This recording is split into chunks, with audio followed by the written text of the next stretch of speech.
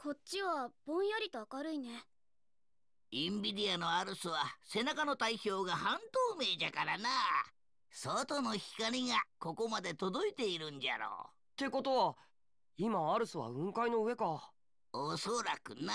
光が来る方に辿っていけばここから出られるかもしれないですね。待ちな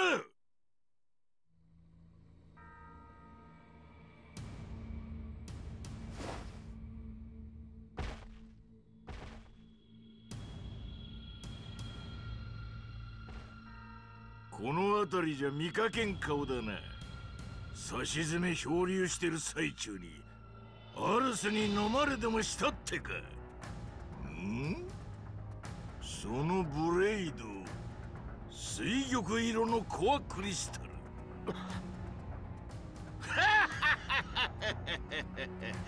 なるほど。噂は本当だったか。噂って何のことだ？ドライバーなら誰しも一度は耳にする伝説のブレイド。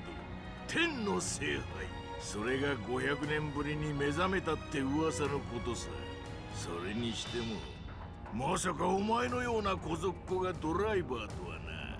俺がドライバーじゃいけないのか。いけなかねそいつが普通のブレイドならな。だがそいつは普通じゃねえ。お前には過ぎた代物だよ小僧。